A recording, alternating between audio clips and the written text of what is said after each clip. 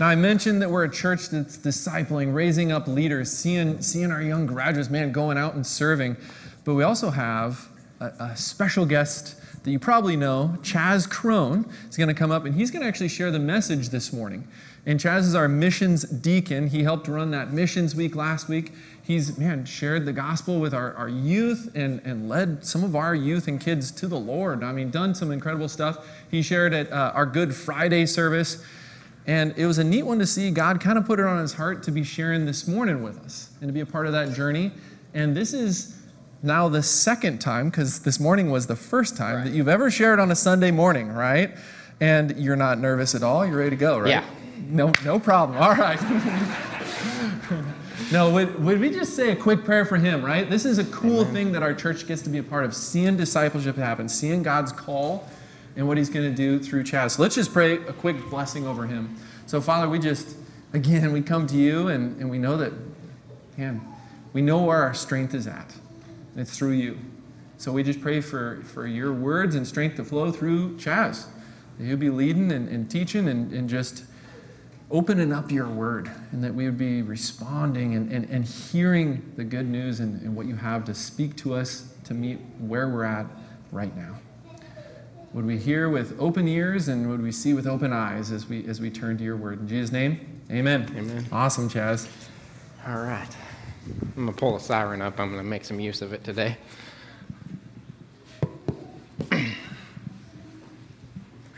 oh, oh, oh.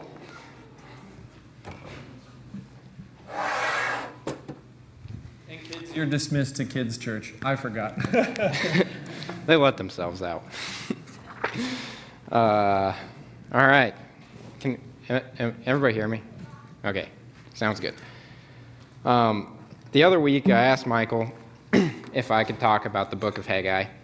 Uh, he let me know that I could, so here I am presenting the Word of God presented by Haggai.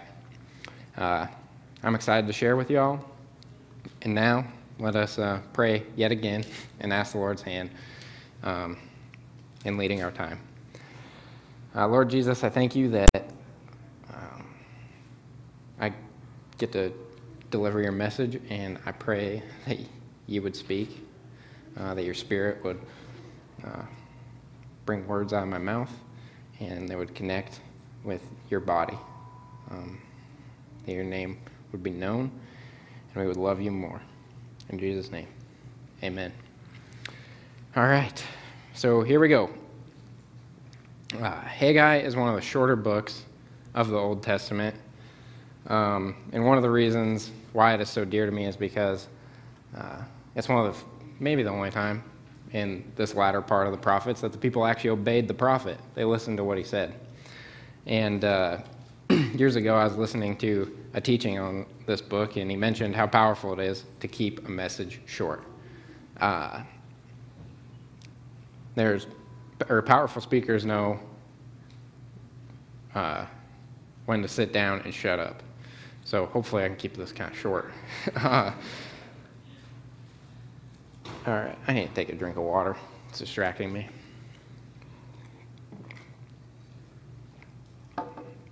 All right. All right, Haggai. Oh, yeah, Haggai is also a little confusing and going to leave us in question. So let's clue into the text.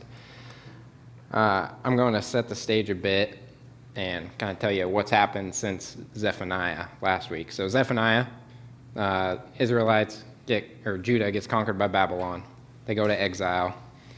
Um, they spend 70 years there, and then a king rises to power, and his name is Cyrus.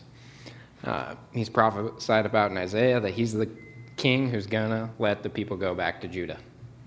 So he lets the people go back to Judah, tells them and God charges the people to rebuild the temple. And they head back and they build an altar, and then they kind of get busy with their own things. Uh, they grow wanton for the world and start building a city, houses, uh, their careers, and things like that. Two kings come and go. They had pretty short reigns. And now Darius is king of Persia, who is ruler of Judah, ruling over Judah. Um, and at this time is when Haggai comes on the scene, and he's been given a word uh, that the Israelites need to get busy building the temple.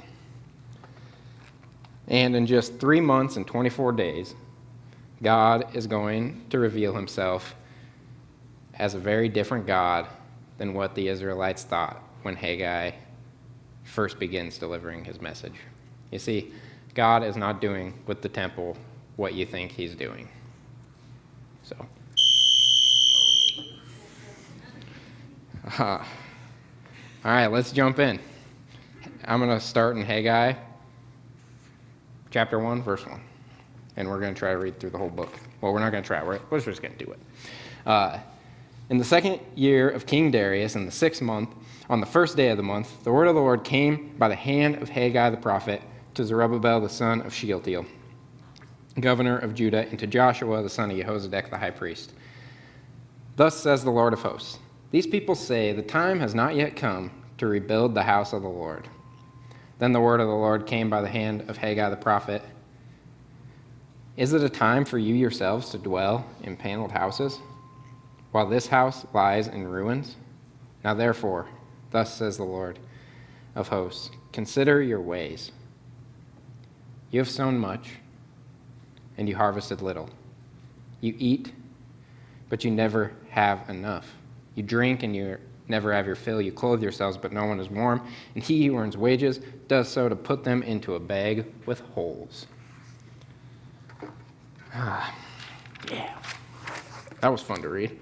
Uh, the Lord of hosts is really not holding back on his people. He's telling them what's happening. Um, and it, that the people have forgotten to do what they were supposed to be doing because they got so busy with their own cares and the worries of the world. Um, but God is still breaking through, and this message is coming at a, a it's very timely because the Israelites would be mid harvest right now. And uh, they're probably starting to realize everything they've worked for this year isn't producing quite what they had hoped. And uh, they labored much and gained very little. And I really think verse 6 hits a chord with our current economic state um, that we're working hard, but there's not as much there as we'd like there to be. Um, inflation's rising, and it's getting tough. Um, yet the and then on top of that, the Lord doesn't really let up on telling them that they're going to be struggling or that they are struggling, um, but He does give them a task for the coming winter. Uh, let's read verses 7 through 11. Thus says the Lord of hosts Consider your ways. Go up to the hills and bring wood and build the house, that I may take pleasure in it, that I may be glorified, says the Lord. You looked for much, and behold, it came to little. And when you brought it home, I blew it away. Why, declares the Lord of hosts? Because of my house that lies in ruins. Will each of you busy himself with his own house? Or while each of you busies himself with his own house. Therefore, the heavens above you will withhold the dew, and the earth has withheld its produce, and I have called for a drought on the land, and the hills on the grain, the new wine, the oil, on what the ground brings forth, on man and beast, and on all their labors. All right.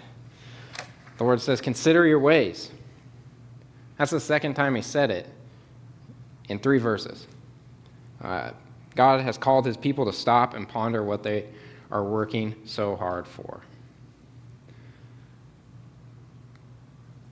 Saying, I want you to work hard on my house, build the temple. Well, that's not me. I was like, oh man, my phone's ringing up here. uh, I want you to work hard on my house, build the temple, gather materials. You're working for corruptible things. And by the way, if you don't obey me, your current situation is going to get worse. God's not only uh, disappointed, but he's going to dry up the land. He's not only going to dry up the land, he's going to dry up the very labor of their hands and man himself. So, what do the people decide to do? Let's keep reading. Then Zerubbabel the son of Shealtiel and Joshua the son of Jehozadak the high priest, with all the remnant of the people, obeyed the voice of the Lord their God and the words of Haggai the prophet, as the Lord their God had sent him. And the people feared the Lord. Then Haggai the messenger of the Lord spoke to the people with the Lord's message I am with you, declares the Lord. And the Lord stirred up the spirit of Zerubbabel the son of Shealtiel governor of Judah, and the spirit of Joshua the son of Jehozadak, the high priest, and the spirit of all the remnant of the people. And they came and worked on the house of the Lord of hosts, their God, on the 24th day of the month, in the sixth month, in the second year of Darius king. All right. so after 24 days, the people of Israel decide to give their work to the Lord. Um, I really enjoy how much thought they gave it. It's kind of weird to think that, you know, God told them, I'm going to dry up your land, and it's going to be really hard. And it took them 24 days to decide that they were actually going to follow through and obey him. Um, but at the same time, after three weeks of thinking about it, they knew they were committed. And uh,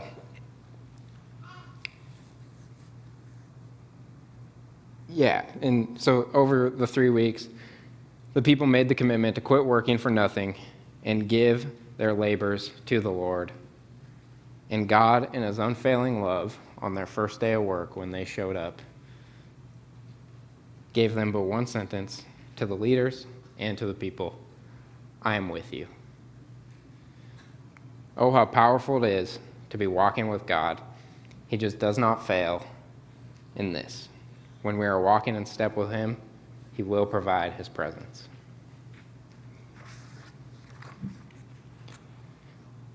And let's read on. Uh, this is about a month later. So, in the seventh month, on the 21st day of the month, the prophet, oh, sorry, on the seventh day of the month, the word of the Lord came by the hand of Haggai the prophet.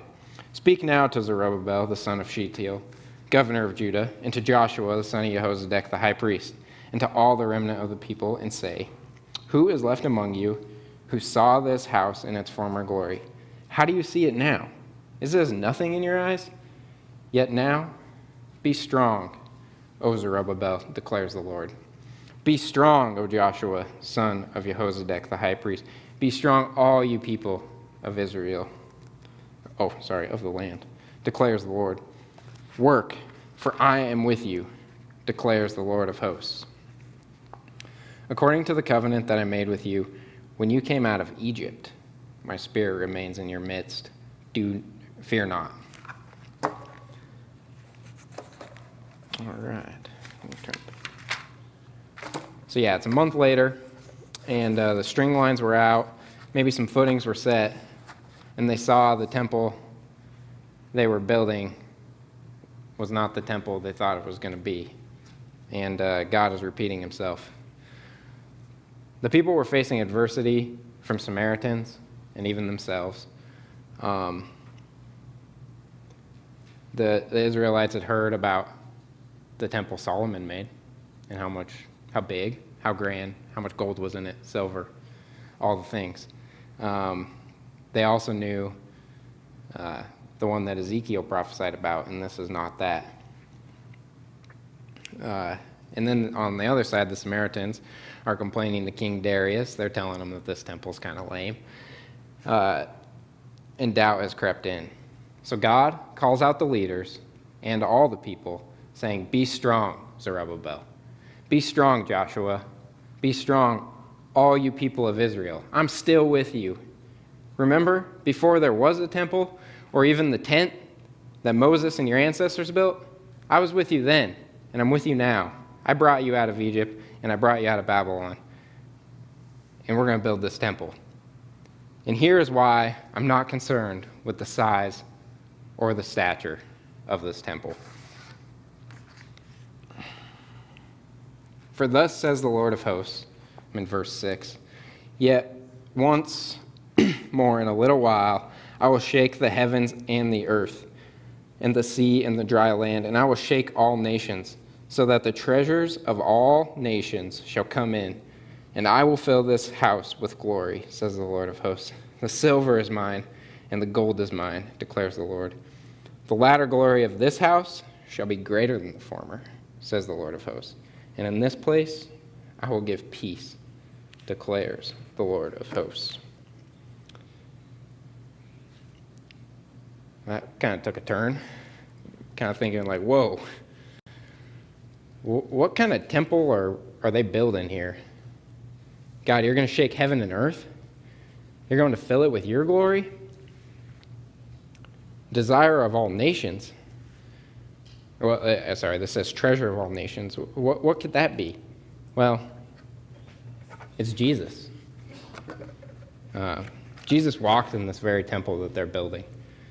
Uh, he taught, he healed, he corrected the snakes who were profiting from God. He amazed the elders as a little boy with his knowledge of the scriptures.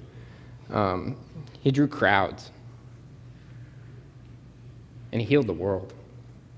He brought peace to the hearts of men. Um, now I'm going to tell you a little story. This week, as I was preparing to speak, I was thinking a lot about my work and how I could better serve the Lord. Uh, and it became apparent to me that I needed to focus less on my own physical job and focus more on my family, my wife, my marriage. So on Friday, uh, I laid down my work, asked my mom to watch our little boys, and me and Amy, and not, or Amy and I went up the Stillwater had lunch, uh, went for a walk, and then we came home. And it was kind of fun, uh, really hard, and pretty exhausting. You see, the, the Lord entered in, and we had to really reconnect. Uh, we'd been so busy in our lives that we're growing apart, and we didn't really have anything to enjoy about each other anymore. Um, and I'm, and I'm sure uh, those of you who have been married for a while probably remember days like these, um, where you really can't explain it, but after months, year, weeks, maybe even years of just kind of grinding through marriage, all of a sudden the Lord evidently enters in, and there is joy in marriage again. Um, and it's new and fresh. So, right now, I'm challenging all you husbands. Focus on the family. And don't forget that your bride is the very center of, or the one you're most concerned about, because without her, the family's broken. And uh, yeah, show interest in her. Take off of work early one day. Tell her, I got a babysitter. Uh, and take her out for a good time. And uh, don't forget to shower first. so, moving on. It's been two months, and the foundation of the temple is laid. And I'm picking up in verse 210.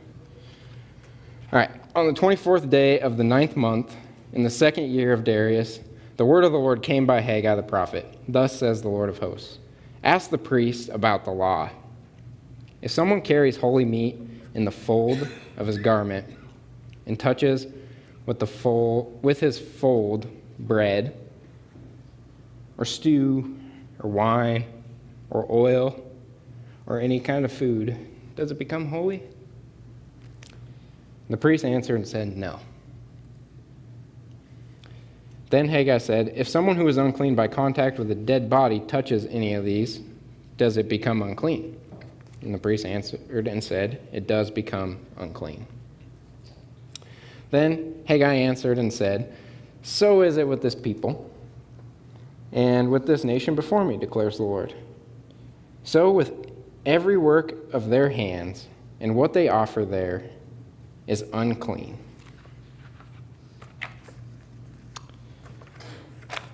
And this is when what I said, uh, God is not doing what the temple what you think He's doing, really comes to light. I'm sure the people before this were feeling pretty good about themselves, like they had got the foundation laid. And they were proud of the work they'd done. Uh, they were proud of their sacrifice. Uh, they were proud. They were proud. And God hits them with this You aren't holy. You're sinners. And you're unclean.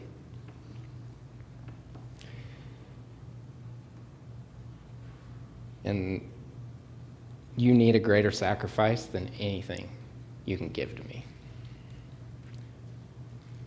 That's pretty frustrating. Um, let's read on. 215. Now then, consider from what. Uh, now then, consider from this day onward, before stone was placed upon stone in the temple of the Lord. How did you fare? When you came to a heap of 20 measures, there were but 10. When you came to the wine vat to draw out 50 baths, there were but 20. I struck you and all the products of your toil with blight and mildew and with hail. Yet you did not turn to me, declares the Lord. Consider from this day onward, from the 24th day of the ninth month, since the day of the foundation of the Lord's temple was laid, consider. Is the seed yet in the barn? Indeed. The vine the fig tree, the pomegranate, and the olive tree have yielded nothing. But from this day on, I will bless you.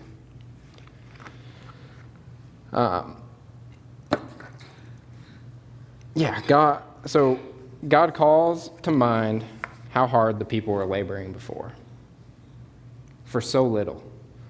Yet now that they've given their time to the Lord's house, God's saying the fields are going to spring with fruit even though the seed's still in the barn.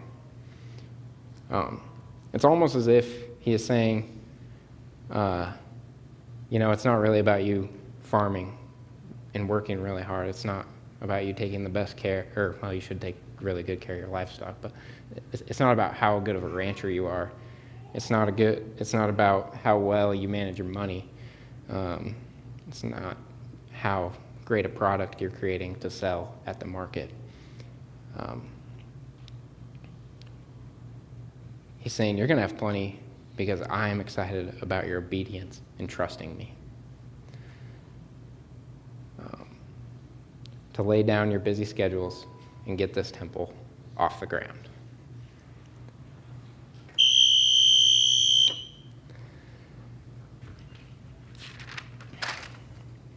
God is leaving us with a very unresolved message. Am I right? In the middle of the book, he reveals the temple and the sacrificial law are not really what he is seeking after or out of you. What he desires is that you trust in his unfailing love, mercy, compassion, and his promises of a greater kingdom than can be found on earth. He's saying, I want you to believe me. I'm going to close with two more sections of Scripture. The first is the rest of Haggai, and the latter are the words of Jesus and just what it takes to do his work. All right.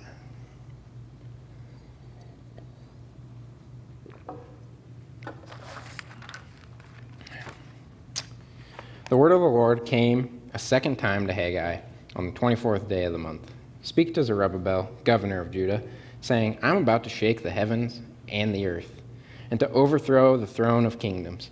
I'm about to destroy the strength of the kingdoms of the nations, and overthrow the chariots and their riders. And the horses and their riders shall go down, everyone by the sword of his brother. On that day, declares the Lord of hosts, I will take you, O Zerubbabel, my servant, the son of Shealtiel, declares the Lord, and make you like a signet ring, for I have chosen you, declares the Lord.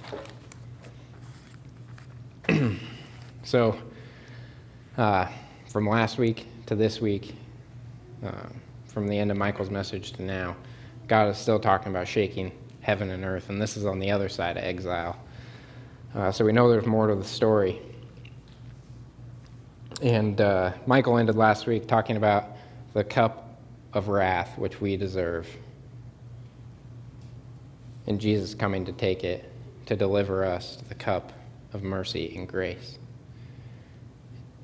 And this week, we end with the leader of Judah, who is considered a governor, He's not even a king. And God is making him a signet ring, um, something that seals letters, usually worn by a king. Uh, so he's setting a seal. He, well, he's making Zerubbabel a seal. And uh, you fast forward 600 years, and there's two men um, are writing about Jesus one who walked with him, the other who was interested in him. And the two, in their gospel accounts, take two different sides of Jesus' parents. One lineage is from Joseph, the other uh, from Mary. And from David, there is only one ancestor that is shared on both sides, and it's Zerubbabel. Uh, God's foreshadowing what is to come. And we know Jesus comes. And in John's Gospel, I guess I don't need that. In John's Gospel, chapter 6, verse 29, after Jesus feeds the 5,000, he miraculously arrives on the other side of the lake. And the people boat over and begin questioning him. And Jesus leads them to ask the question How is it that we shall work the works of God? And Jesus responds This is the work of God, that you believe in him whom he sent. That you believe in him whom he sent. Um, it's not by physical works that we are saved, but by faith alone. Not one of us in this room will get to stand before God and tell him about how good we were, all that we accomplished, how much money we made, the friends we had. None of that will justify us. No, rather, our only hope is being sealed by the Holy Spirit through faith in Jesus Christ. And I look forward to the dreadful day, and that's by God's grace. And if you don't, I urge you to talk with Jesus,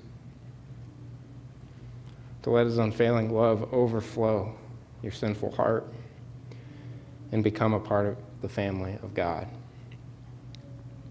Give your life to Jesus. Let's pray. Lord, I thank you that I got to share your word, and I thank you for everybody who showed up to listen to your word. And I pray that um, if there's anybody right now who um, feels feels you churning their heart and um, calling you or calling them to receive your spirit, I just pray right now that they might raise their hand and. Uh, let. All right, I see you. Um, Jesus, I'm so thankful that um, you're a good God, and I praise you that uh, you unite us through your Spirit. And I pray for those of us who have known you that we would renew that uh, that commitment to follow you, and Lord, we would go and re- re- listen to you and obey you. I pray this in Jesus' name. Amen. Thank you.